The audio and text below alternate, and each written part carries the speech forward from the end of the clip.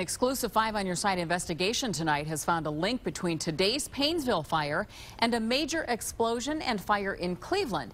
In addition, one of the plant's owners pled guilty to federal criminal charges related to toxic waste.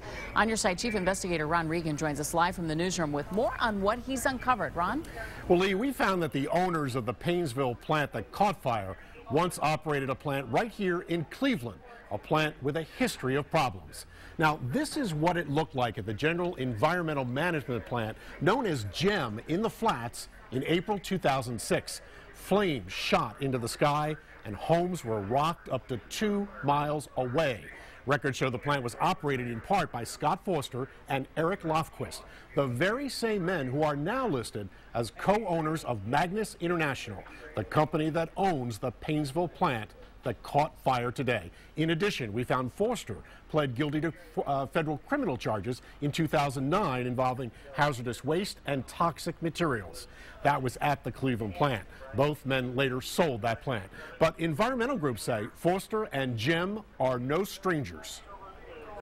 We found that GEM had violated virtually every environmental and public safety law in one way or another, and the U.S. EPA found they had violated the Clean Air Act.